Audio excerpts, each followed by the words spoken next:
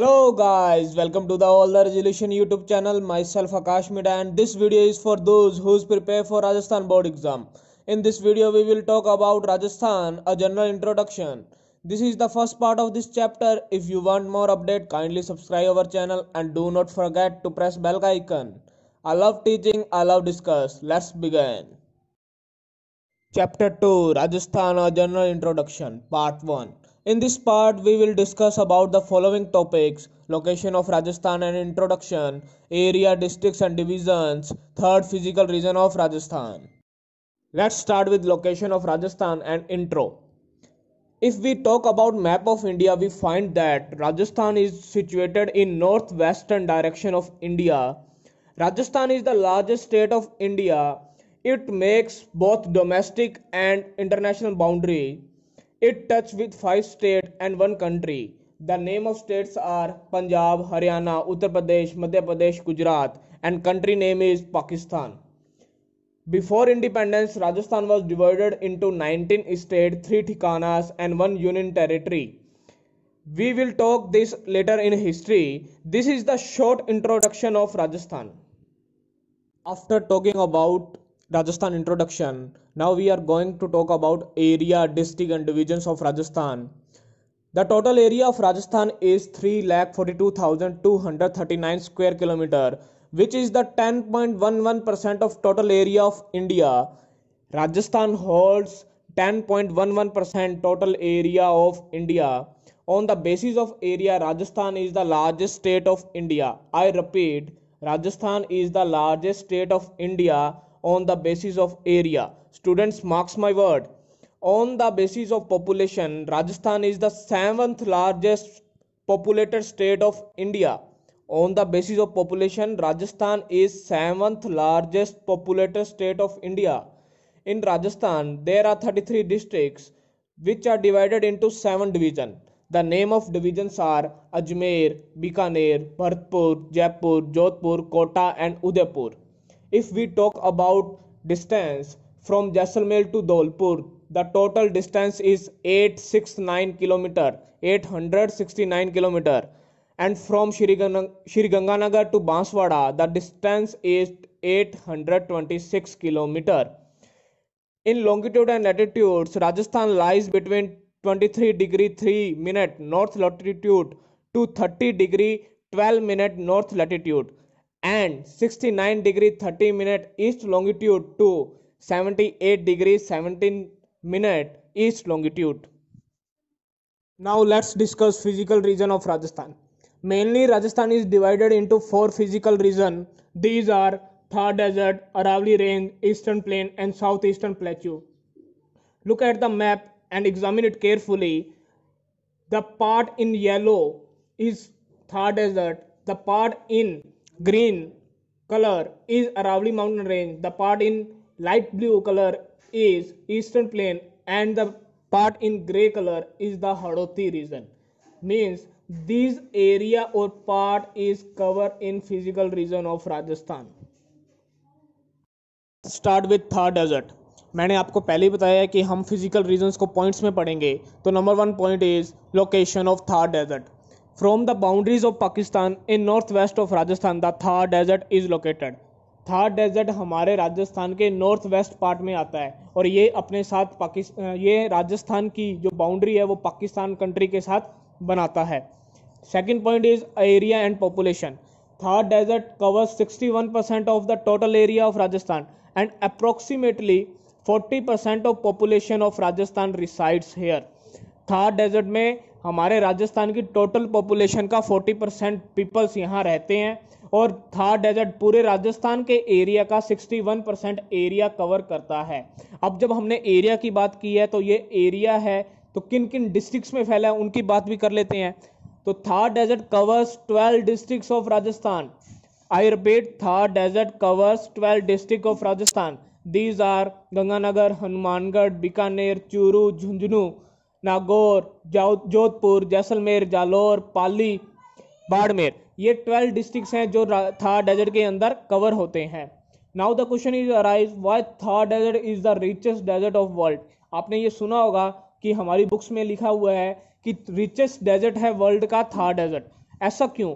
Because Thar desert has high population density animal density rainfall mineral diversity vegetation agriculture irrigation facility as compare to other desert of the world दुनिया के जितने भी desert हैं, उन desert में सबसे ज़्यादा यहाँ पे पॉपुलेशन रिसाइड करती है।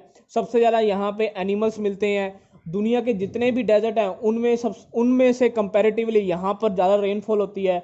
यहाँ पर मिनरल डाइवर्सिटी हमें मिली है। एग्रीकल्चर यहाँ की जाती है। यहाँ पे इरिगेशन फैसिलिटी भी अवेलेबल है, इसलिए इस डेजर्ट को पूरे वर्ल्ड का रिचेस्ट डेजर्ट बोला जाता है।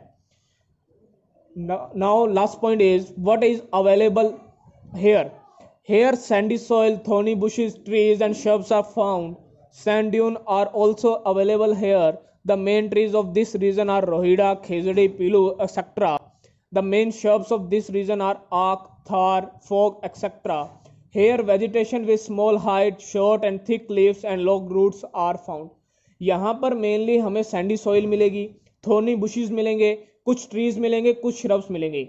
जो यहाँ पर वेजिटेशन हमें मिलती है, उनकी वेजिटेशन की हाइट स्मॉल होती है। जो पत्तियाँ होती हैं, वह छोटी और पतली होती हैं। और जो इनकी वेजिटेशन की जो जड़ें होती हैं, किसी भी पेड़ की या श्रब की जो जड़ें हैं रूट्स हैं, वो क्या होती हैं? डीप होती हैं लॉन्ग रूट्स होती हैं। यहाँ पे सैंड ड्यून्स भी अवेलेबल है। सैंड ड्यून्स की पिक्चर बेटा आप देखो, आप, मैंने यहाँ पे पिक्चर अवेलेबल करवाई है आपको तो सैंड ड्यून्स इस तरीके के होते हैं। बड़े बड़े रेत के टिलों को सैंड ड्यून्स बोला जाता है। यहाँ पे जो मेनली ट्रीज हमें मिलते हैं वो है रोइडा, खेजड़ी, पिलो, और मेनली जो यहाँ पर श्रब्स मिलती हैं वो आक है, थार है, फोग है, ये सभी यहाँ पे अवेलेबल हैं। Here are some terminology related to Thar Desert. Let's discuss them one by one. Now, number one is Great Indian Desert. The part of Thar Desert in Bardmer, Jaisalmer, and Bikaner is known as the Indian Desert. Second, sand dunes. A sand dune is a mount of sand which are found on desert. एक बहुत बड़ा रेत का टीला जिसको जो कहाँ मिलता है हमें डेजर्ट में मिलता है उसे क्या बोलते हैं सैंड ड्यून्स बोलते हैं what is rohida rohida is the state flower of rajasthan khezdi tree the state tree of rajasthan and fog fog is the shrub which is found only desert region एक इसी तरीके की शब होती है जो सिर्फ़ डेजर्ट रीजन में मिलती है मैंने आपको पिक्चर में आप देखिए इस तरीके का होता है after discussing Thar desert now we are going to study Aravalli mountain range number one is location Aravalli range is located in mid range Rajasthan from south west to north east Rajasthan के south waste से लेकर north east तक पूरा area जो है वो Aravalli mountain range से cover है। Look into the map और आपको ये पता लगेगा कि ग्रीन पार्ट में जो यहाँ पे राजस्थान का एरिया जो कवर किया गया है, वो सारा कवर अरावली माउंटेन रेंज करती है।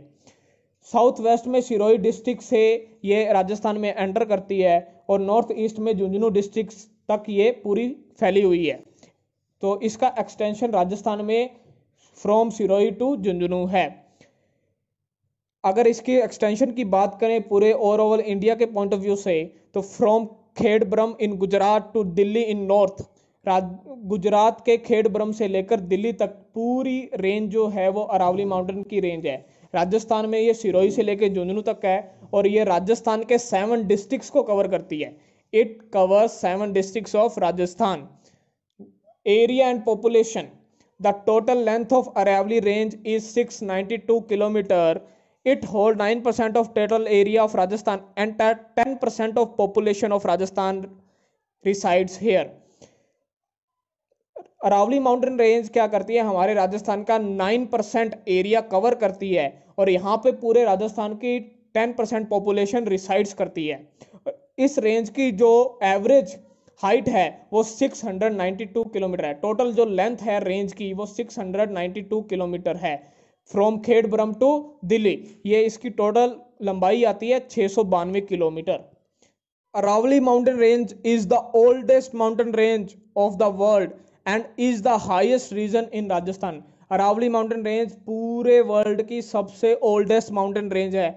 और ये राजस्थान का सबसे हाईएस्ट पार्ट भी या हाईएस्ट रीजन जो है वो अरावली माउंटेन रेंज है।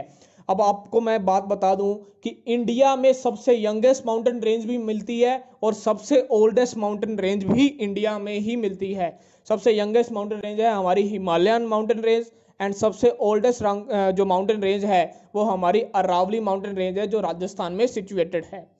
इस रीजन का सबसे हाईएस्ट जो पीक है वो गुरु शिखर है जो माउंट आबू में मिलती है। इसकी जो ऊंचाई है गुरु शिखर की, वो 1722 मीटर है। I repeat 1722 metre is the height of Guru Shikhar. Let's discuss the the famous question related to Aravalli mountain range why Aravalli is the life line of Rajasthan Rajasthan की लाइफ लाइन किसे कहा जाता है? बेटा, दो चीज़ों को कहा जाता है।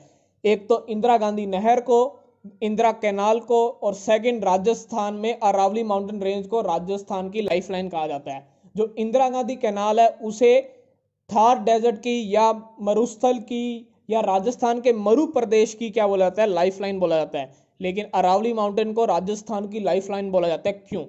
There are some points by which we can say that Aravalli is the lifeline of Rajasthan. The number one is it is the source of mineral resources. Second, it is the origin point of many rivers. Third, it stops desertification. Number fourth, maximum vegetation is found here. Number fifth, most of wildlife lives here.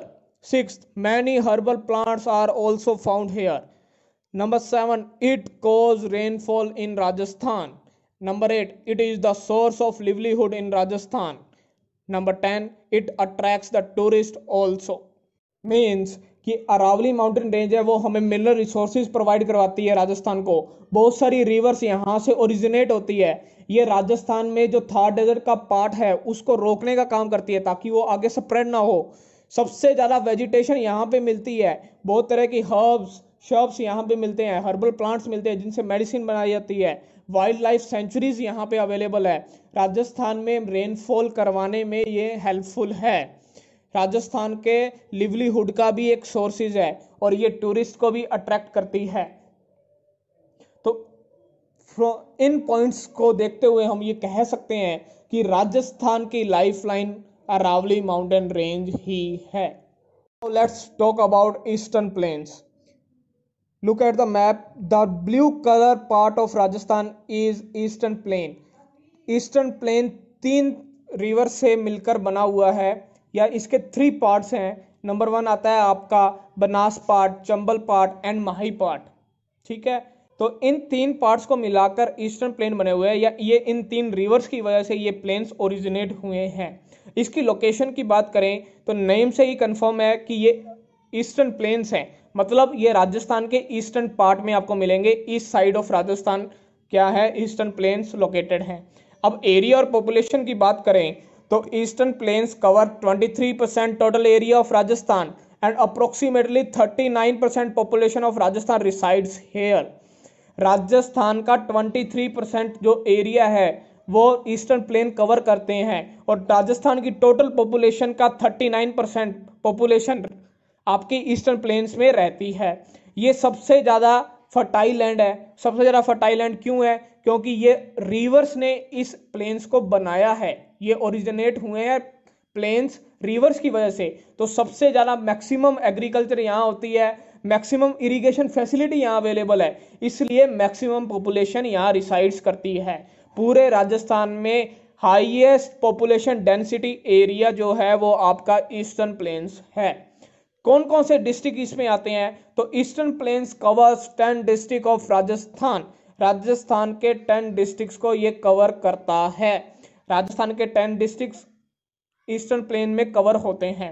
Eastern plains of Rajasthan are formed by river Chambal Banas Banganga and their tributary मैं पहले ही बता चुका हूँ कि eastern plains हैं, वो Chambal river, Banas river Banganga river, Mahi river, इन और इनकी ट्राइब्यूटरी रिवर्स की वजह से ओरिजिनेट हुए हैं या फॉर्म्ड हुए हैं।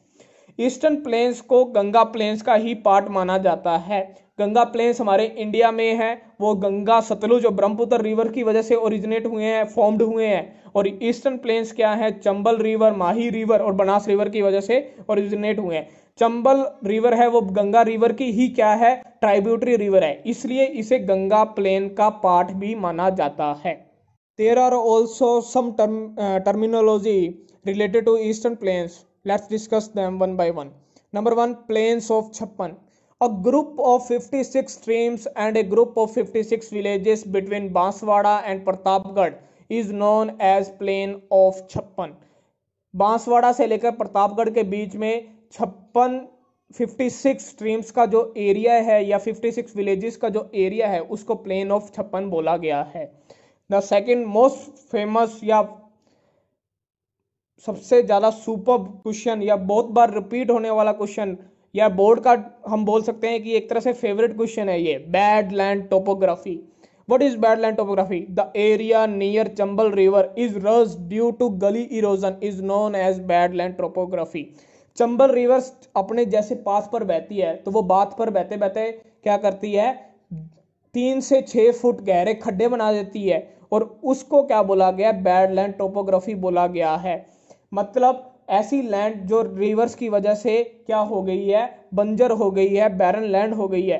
इस लैंड को क्या बोला गया है? बैडलैंड टोपोग्राफी बोला गया है। इसके जो मैक्सिमम एक्सटेंशन है बैडलैंड टोपोग्राफी की, वो सवाई माधोपुर से लेके करौली तक है। Hope it makes sense now we are going to discuss our last region that is south eastern plateau और plateau of Hadoti The southeastern plateau of Rajasthan was governed by Hada kings in the times of princely states. जब राजा महाराजों का time था, तब ये area जो था, वो आपका हाड़ा किंग्स यहाँ पे क्या करते थे? रूल करते थे। गवर्नड बाय हाड़ा किंग्स था। इसलिए इसे हड़ोती रीजन बोला जाता है या हड़ोती प्लेच्यू बोला जाता है। हड़ोती रीजन आप मैप में देखिए, जो ग्रे कलर में जो पार्ट है, वो हड़ोती रीजन के अंदर आता है। लोकेशन की बात करें तो हड़ौती प्लेचू वो, जो राजस्थान में साउथ ईस्टर्न लोकेशन में क्या है? लोकेटेड है सिचुएटेड है। Hadoti plateau is situated in south eastern direction of Rajasthan. Hence it is also known as south eastern plateau south eastern area में सिचुएटेड होने की वजह से इसे साउथ ईस्टर्न प्लेचू भी बोला जाता है। अब इसके एरिया और पॉपुलेशन की बात कर लेते हैं। Hadoti Plateau covers 7% land of Rajasthan and approximately 11% population of Rajasthan resides here. इस रीजन के अंदर 11 परसेंट पॉपुलेशन पूरे राजस्थान की रिसाइड करती है और लिव्स करती है। और यह एरिया या ये रीजन पूरे राजस्थान का 7 परसेंट लैंड को होल्ड करता है।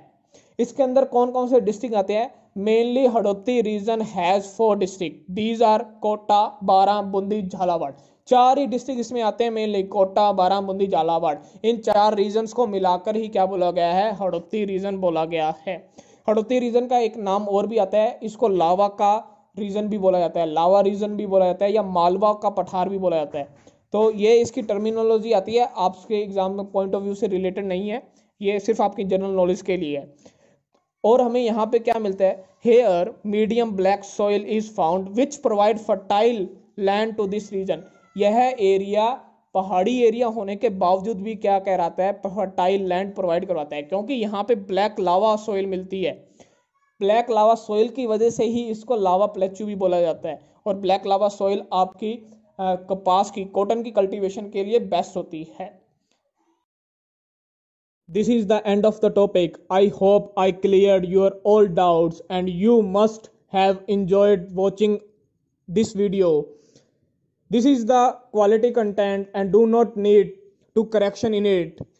It is all about from my side. Your comments and suggestion are invited. If you satisfy with video and lecture kindly like the video. Pdf of this video is available in our telegram channel. You can get it from there. Link of telegram channel is available in description box as well as in about also. So thanks a lot for listening me patiently, carefully. God bless you all.